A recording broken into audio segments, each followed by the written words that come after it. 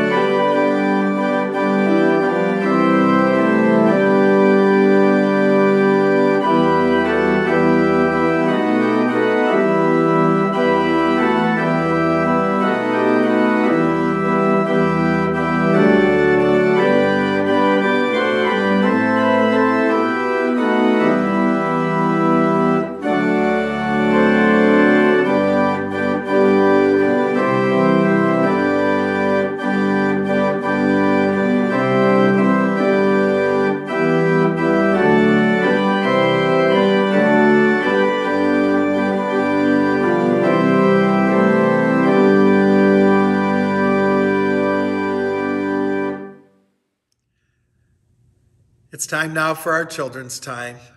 Good morning, boys and girls. It's so good to see all of you.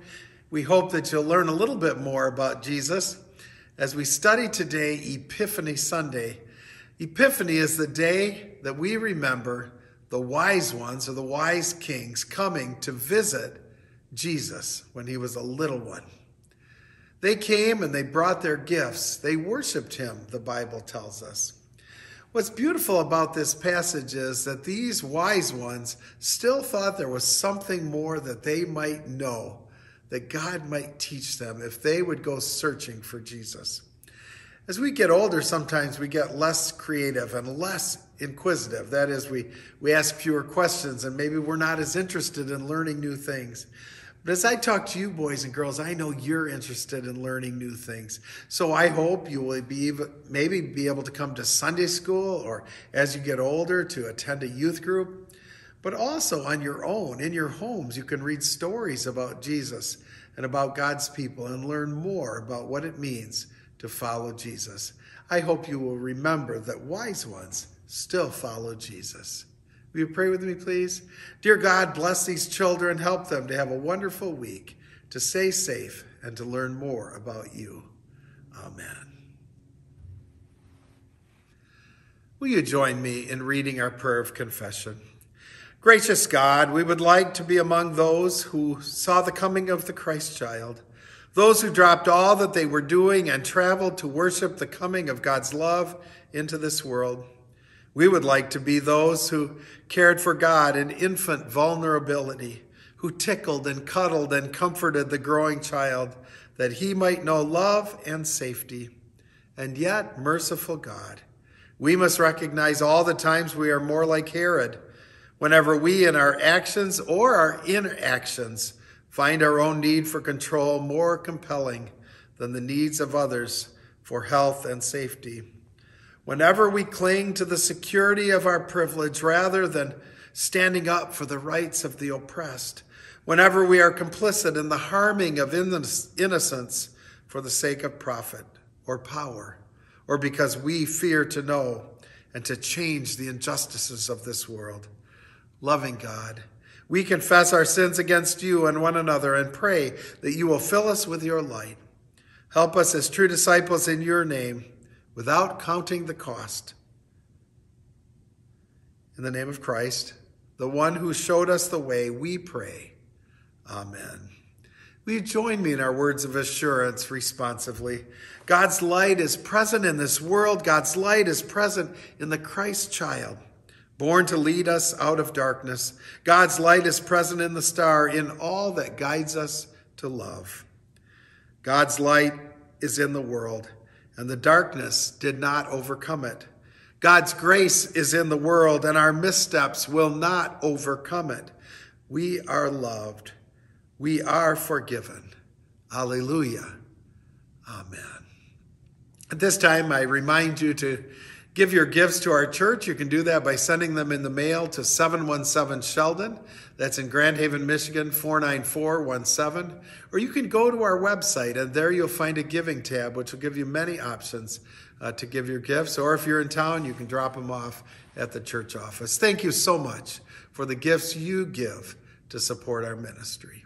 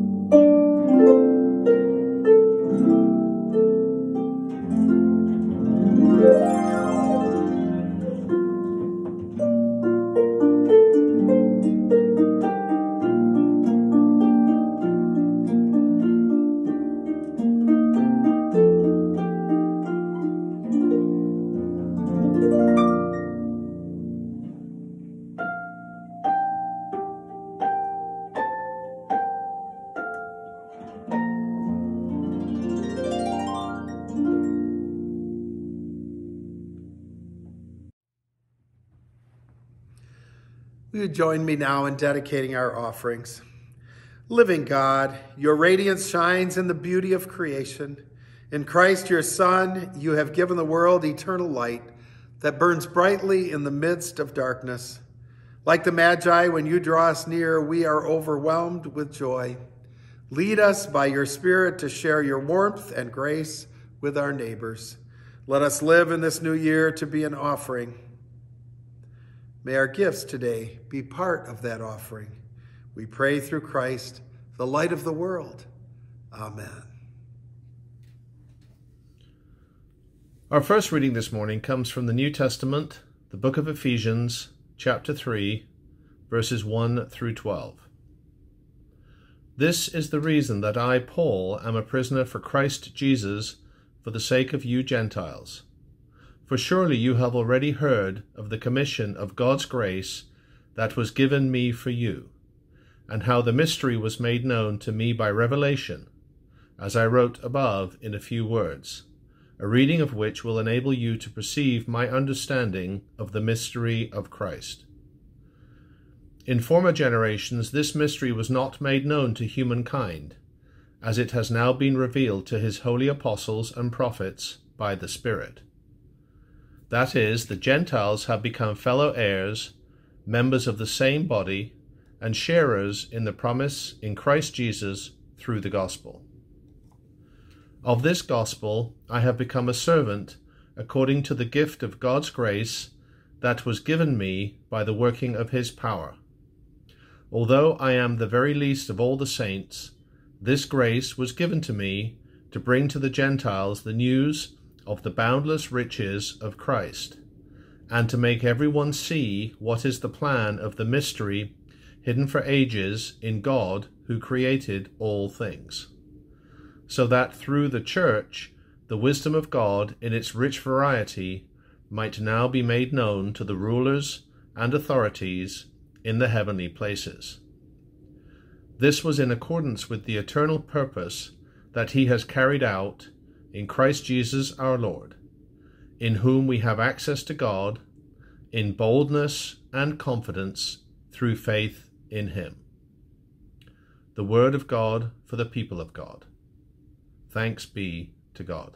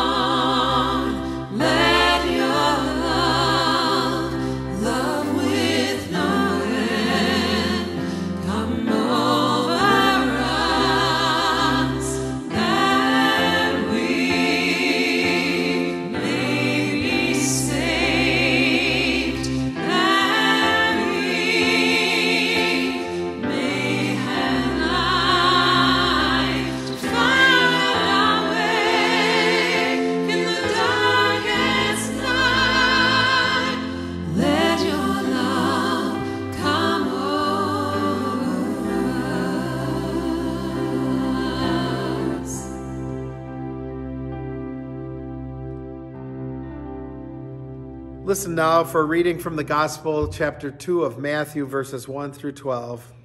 In the time of King Herod, after Jesus was born in Bethlehem of Judea, wise men from the east came to Jerusalem asking, Where is the child who has been born king of the Jews? For we observed his star at its rising and have come to pay him homage. When King Herod heard this, he was frightened, and all Jerusalem with him. And calling together all the chief priests and scribes of the people, he inquired of them where the Messiah was to be born. They told him in Bethlehem of Judea, for so it has been written by the prophet. And you, Bethlehem in the land of Judah, are by no means least among the rulers of Judah, for from you shall come a ruler who is to shepherd my people Israel. Then Herod secretly called for the wise men and learned from them the exact time when the star had appeared. Then he sent them to Bethlehem, saying, Go and search diligently for the child, and when you have found him, bring me word, so that I may also go and pay him homage. When they had heard the king, they set out, and there ahead of them went the star that had been seen at its rising, until it stopped over the place where the child was. When they saw the star had stopped, they were overwhelmed with joy. On entering the house, they saw the child with Mary, his mother, and they knelt down and paid him homage.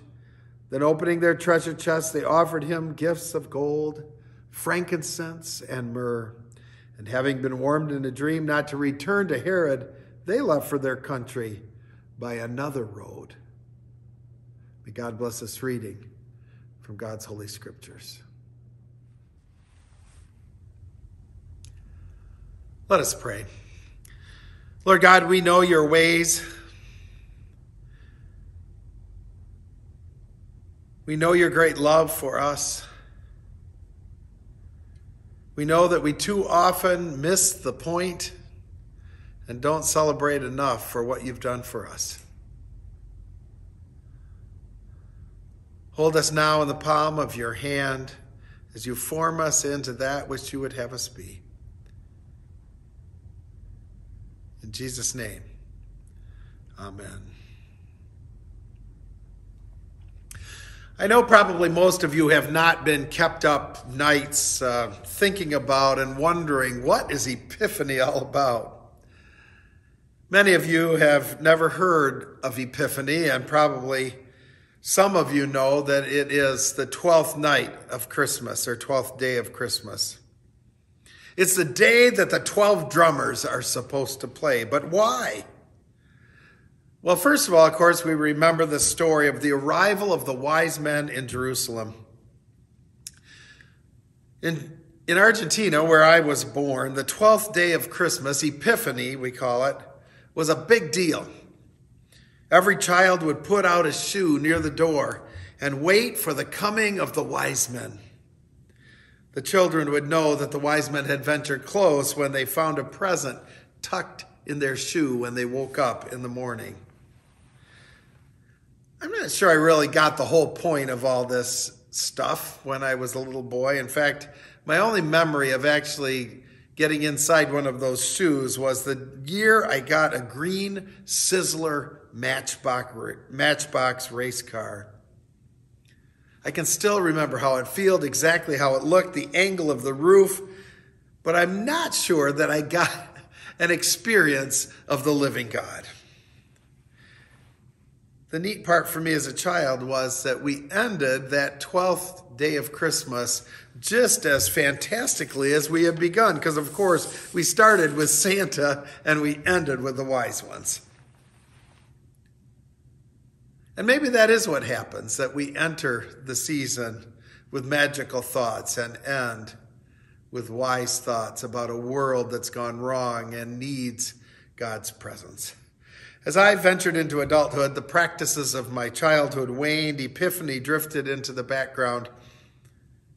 We should never allow that to happen. Epiphany in the early church was one of the greatest feasts of the church. That is one of the greatest feast days, second only to Easter in importance. The third great feast was Pentecost, another day that has drifted sometimes into the religious backwaters. And even Easter, which is such a fantastic day, is greatly watered down today Resurrection Day, Easter, was normally celebrated with an all night vigil, and then at sunrise, a break fast. Then communion was celebrated at the end of a torch parade as they marched around the building multiple times and then marched down the center aisle of the church to proclaim that Christ Christ was raised. Easter was and is still supposed to be a lengthy celebration, 50 days of celebrating, ending with the huge feast or party on Pentecost. And so we have Epiphany, Easter, and Pentecost. These were the focus of the early church. Nobody even thought about celebrating Christmas Day or Christmas Eve until the fourth century after Jesus. Some have asked, how, how come nothing epiphs on Epiphany anymore? Why was Epiphany so important, and why, at least in the Protestant church, does it seem so unimportant now? Most of us celebrate the coming of the wise men and tell that story. Those wise ones that came to visit Jesus on Epiphany, bringing their gifts acknowledging this story does, the, the revelation of Jesus to the Gentiles. Paul alludes to this in the letter that we read today. The Gentiles have become fellow heirs, members of the same body, and sharers in the promise in Christ Jesus through the gospel.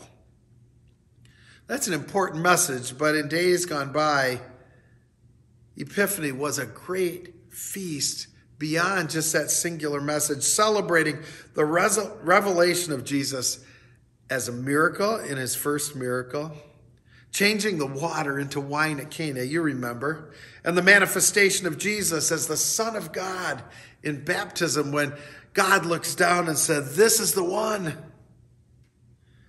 Those three things the wise men coming, the celebration of the wedding at Cana of Galilee and the baptism were used to symbolize the revelation, revelation of God in Jesus Christ. This revelation that God has come into the world is means for celebration. Maybe even to get 12 drummers drumming. Paul in our Ephesians passage today speaks of the mystery that was made known to him by revelation. He suggests that it is revelation that helps him to perceive the mystery or to understand the fullness of Jesus Christ. I suppose that mystery is that God epiphs in and through human beings. An epiphany is a moment of an experience of God, and we experience that sometimes right through the people that we worship with, that we work with, that we minister to. In the ancient church, less time and energy were spent on the baby born in the manger compared with the rehearsing of the events that proved to the world who that baby was. The authority of Jesus was validated by signs that were performed, changing water into wine, a miracle. By the voice of God and descending dove at his baptism, and through signs in the heavens that could be interpreted to the Gentiles. God was trying to get the world's attention by pointing at the love and power that God had revealed in Jesus Christ. So the question's still there. Why don't we epiph on Epiphany anymore. Sometimes I think that we've lost confidence, that God still speaks and acts in the world. Remember, we don't get what we don't expect. The early church was, was a movement full of excitement and expectation. They anticipated the imminent return of Jesus. They lived life and loved others with urgent abandon. They shared, the scriptures say, everything together. They were one family in Christ. They expected and found Jesus at work in them and the eyes of those in need. Now, folks, the, the pandemic has beaten us back hard, but it doesn't have to be the last word. In the early church, the point of Epiphany was not to remember history, but to remind us that God appears miraculously to us in, in places and in ways that we don't expect, maybe even today. I come to worship today with a sense of expectation. I believe that God still appears in unexpected times and places. But if we are not expecting to see Jesus somewhere, to see God's revelation somewhere, we may just miss it. Maybe today is such a day. Maybe this year is such a year that God will show up in powerful ways and we will notice. And more than what I was wishing people last week, a happier new year. May this be a new year that is full of God's goodness, full of God's revelation. If we keep expecting to find God, we will find God. If we want anything to epiphany in our lives, we had better begin by expecting and watching for it. Do you prepare for your day by asking God to be revealed in your family? To be revealed in your coworkers? To be revealed in the traffic you go through on the way to work, in your housework, in your children, in your clients that you deal with? Do you prepare for church by asking God to speak to you in the, in the music and in the sermon and in, in the prayers and in the congregation? Did you come to this moment to listen to this message with an expectation of a real, life changing encounter with God? The scriptures say that we if we seek, we will find. Isn't that the message of Epiphany? The message of the wise ones who experienced an epiphany? They went seeking and they found. Our gospel passage says that the wise ones searched diligently. We all meet God in unique ways and at different times and places in our life. The message of Epiphany is that the revelation of God is not a one time occurrence that happened long ago. Jesus didn't come once and that was it. No, there was Easter, that bright and glorious morning when God, through Jesus Christ, exploded into the lives of humanity. Come Easter morning, all bets are off. The tomb was empty and God was, well, God was loose in the world. Jesus appeared and disappeared out of rooms miraculously. He was caught on the beach having breakfast and walking with his disciples who had no clue who he was. The message of Epiphany and Easter is that God is not a forgotten relic of archaic religion. God is alive. God is kicking and epiphing everywhere, always, in hope that somebody will tune, tune into the right frequency and notice the God who manifests God's self in Jesus of Nazareth, oh, that's the same God that lives in me and in you. The message of Epiphany is keep watch, for you don't know the day or the hour when God will appear. No one can force you to encounter God. You must have a willing spirit and an inquisitive heart, but God is here. God is available. God is hoping to epiph to us and through us. When the, when the wise men left Jesus, we are told they left by another road. I like to think that means they left changed. They came seeking, sure, but not knowing. They left continuing to seek and to share and knowing. I hope we too are moved by the bright life of God's mysterious and magnificent love. And it will help us along the way to traverse this different road, this challenging road, one that includes regular and real encounters with the living God and the real world. Who knows where this road will lead? It might be here, it might be anywhere, but expect to meet God on your journey and share God's love with joy and abandon with all whom you meet along the way. Amen. The season after Christmas and before Lent can often seem like a downtime in the church year, as if we're simply marking time, waiting for another grand celebration. Whether it's because people are suffering from holiday fatigue or influenced by the gloomy weather, the season of Epiphany can go by unheralded. This was the case for a congregation before the concept of star gifts. We adopted this practice from another church a few years ago. A star gift is simply a star shaped piece of brightly colored paper with a word printed on it. Today, everyone is invited to request a star gift. You're invited to ponder what significance this word might have in your life and how God might be speaking to you through that simple message. We draw from a list of more than 150 words, each one with its own message and significance. The stars are gifts. God always gives first, and today we are invited to respond with our gifts and ourselves. Because this worship is online, we would invite you to email the office. They are willing to send you a star gift by drawing out of the basket that we will have on Sunday morning and sending you the word or they would be willing to send you that small token, a star with the word on it in the mail if you would request that via email in our office. At this time, I invite you to pray with me silently. Lord God, as we consider this year, we are considering what gift you might give us or remind us of that we have that has been left unused.